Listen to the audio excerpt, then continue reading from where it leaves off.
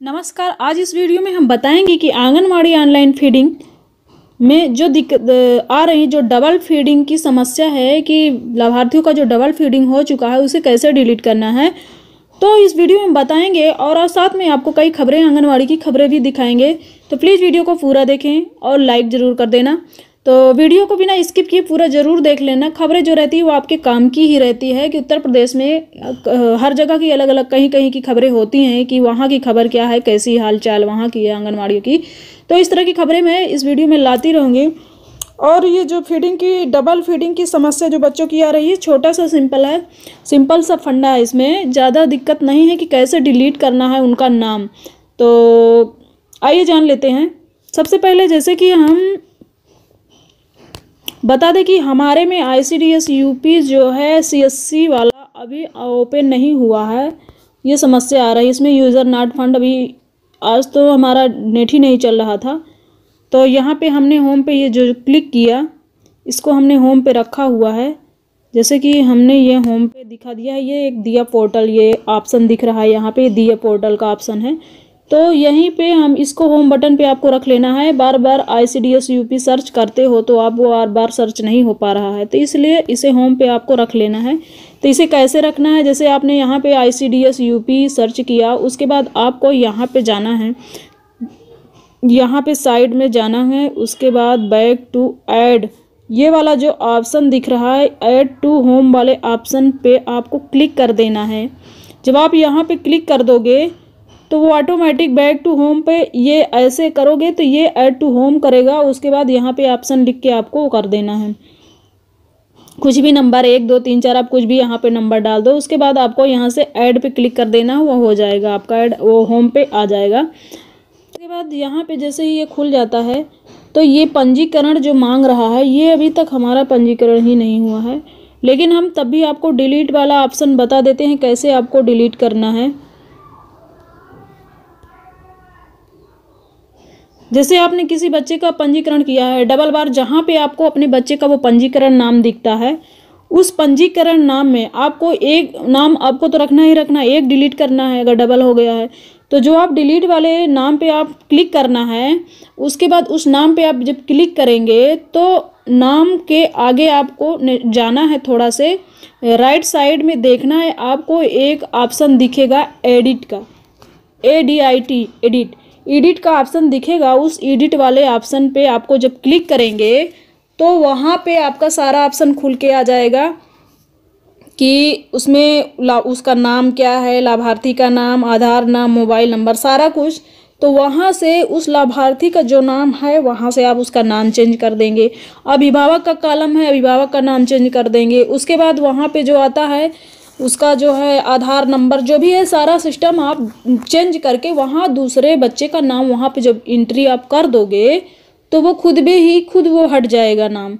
उसमें आपको ज़्यादा घबराने की ज़रूरत नहीं, ज़्यादा दिक्कत करने की ज़रूरत नहीं है। तो आपका वो ज़रूर हट जाएगा। तो जैसे कि मैं आपको यहाँ पे दिखा रही हूँ, ये यूज़र नाट फंड हमारा ये खुल ही नहीं रहा है। हम बहुत दिन से परेशान हैं। हमारा ये नहीं खुल रहा है। थोड़ा नेट स्लो चल रहा है, इसलिए खुल नहीं रहा है। ये समस्या आ रही है। तो यहाँ से हमने फिर अपना चुन लिया है। उसके बाद यहाँ पे हमें अपना मोबाइल नंबर और कोड नंबर दर्ज करना है फिर से। देखिए पासवर्ड रीसेट मांग रहा है।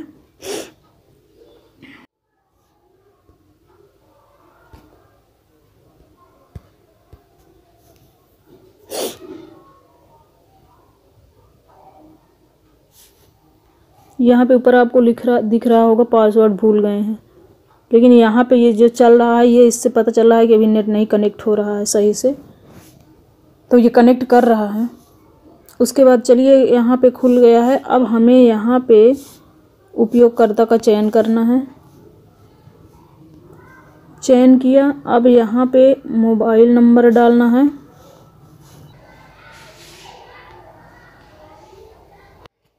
तो हमने अपना यहाँ पे मोबाइल नंबर डाल दिया। यहाँ पे आंगनवाड़ी कोड हमें डाल देना है।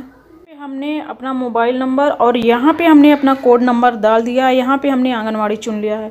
अब हमें क्लिक करना है दर्ज करने पर।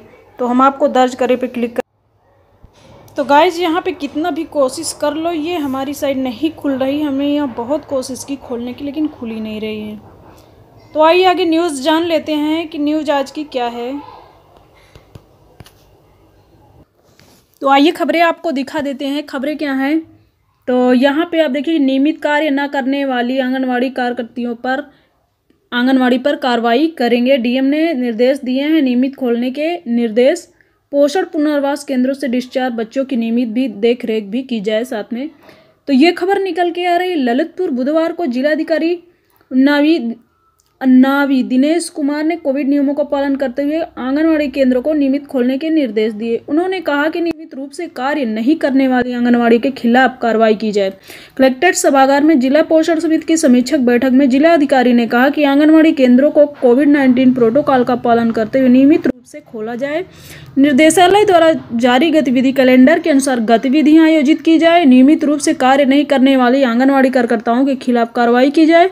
पोषण पुनर्वास केंद्रों में डिस्चार्ज बच्चों का नियमित अनुश्रमण संबंधित आंगनबाड़ी कार्यकर्ता एनएम और आशा द्वारा किया जाए।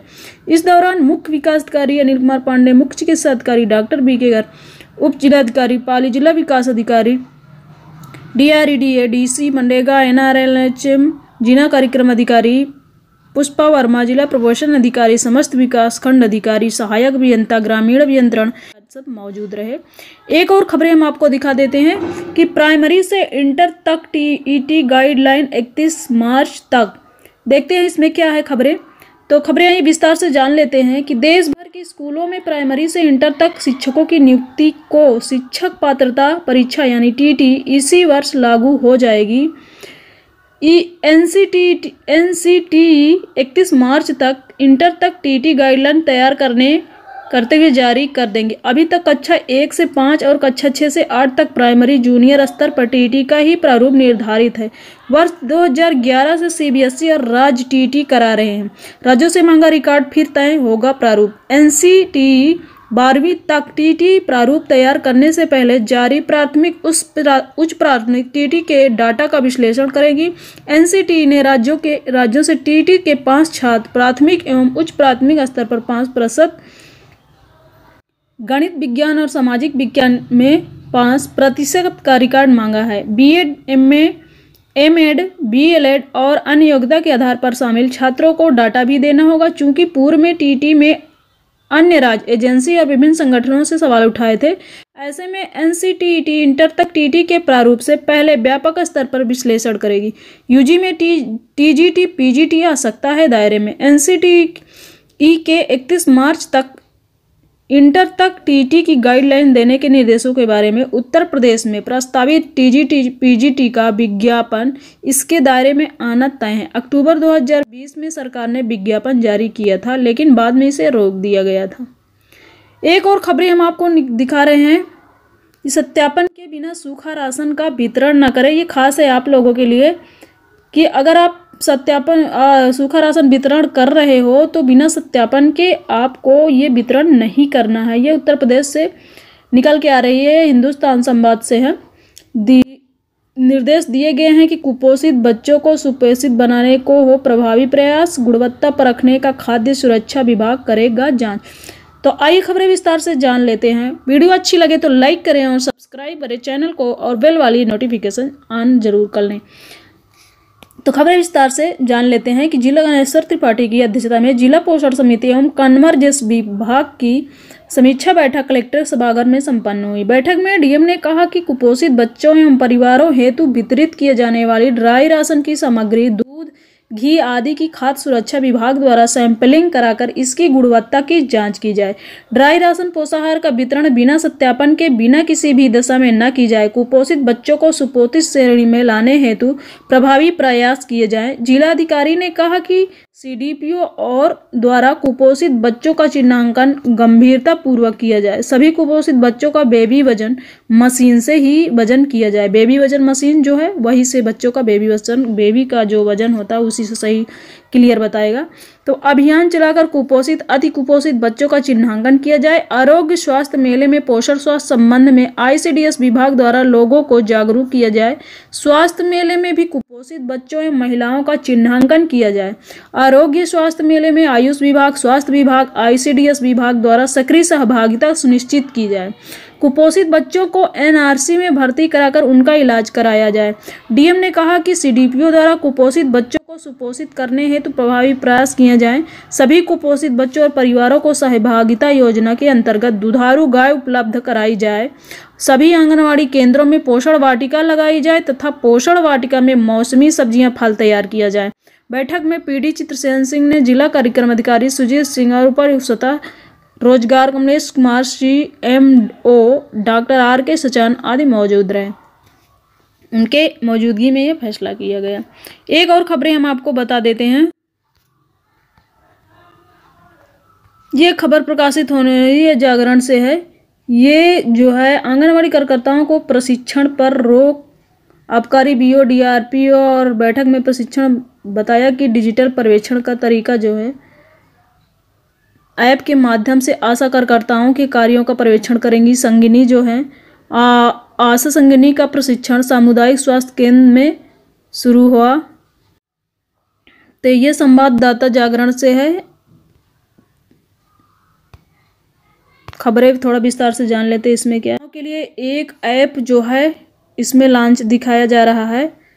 कि दरअसल आंगनवाड़ी केंद्रों पर गुणवत्तापूर्ण ईसीसी संचालन के लिए ब्लॉक स्तर पर शिक्षा विभाग के माध्यम से आंगनवाड़ी कार्यकर्ता को प्रशिक्षण दिया जा रहा था। इस मद में कुल बारह लाख बहत्तर हज़ार दो सौ पचास रुपये खर्च, जिनमें बाल विकास पुष्टाहार विभाग ने संबंधित ब्लॉक संसाधन केंद्रों पर भेज दिया है, लेकिन प्रशिक्षण में गुणवत्ता युक्त भोजन नहीं मिल रहा था और न ही गाइडलाइन का पालन हो रहा था। इस मुद्दे की दैनिक जागरण ने 10 फरवरी में अंक में प्रशिक्षण में गाइडलाइन की हो रही अनदेखी, शीर्षक में प्रकाशित किया। इसके बाद हरकत में अधिकारी ने आनंद फानन में इस पर रोक लगा दिया है।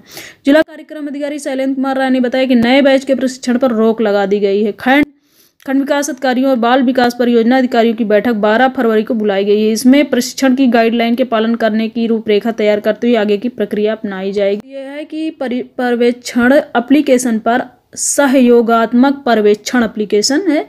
इस पर आशा संगनी प्रशिक्षण, सामुदायिक स्वास्थ्य केंद्र मिठौरा, गुरुवार को शुरू हुआ प्रशिक्षण के माध्यम संगनी आशा कार्यकर्ताओं का प्रशिक्षण करेंगी। सीएससी अधीक्षक श्याम बाबू ने कहा, सरकार की मंशा है कि कार्य में गुणवत्ता इसी को लेकर इस ऐप को लॉन्च किया गया है। इसमें ग्राम जाने के बाद ही आशा कार्यकर्ताओं को सही मूल्यांकन होगा। यह सरकार के पेपरलेस अभियान का हिस्सा है। प्रशिक्षण के प्रशिक्षक स्वास्थ्य चिकित्सा अधिकारी शिक्षा उमेश शाही ने काम केयर ऐप के माध्यम से सहयोगात्मक पर्यवेक्षण करते हुए आने वाली समस्याओं की चर्चा की है। ऐप में सहेली फोल्डर आने वाली समस्याओं को दूर करेंगी। B C M P M Avinish Kumar Patel ने सभी संगनी के मोबाइल में उनके आशा कार्यकर्ताओं का पंजीकरण कराने के साथ ही आने वाली समस्याओं की चर्चा की है। संगनी के ऐप माध्यम से कार्य करने की ज़रूरी बताया। साथ ही फ़ील्ड में जाते समय मोबाइल को चार्ज रखने का निर्देश दिया और इस अवसर पर संगीता देवी, पुनीता, सुधा देवी, माया देवी बबिता सुबीरा देवी, शीला, अमिता आदि संगनी मौजूद रही।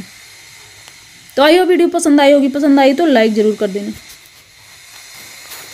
और ज़्यादा से ज़्यादा शेयर भी करना अपने ग्रुप में। Thanks for watching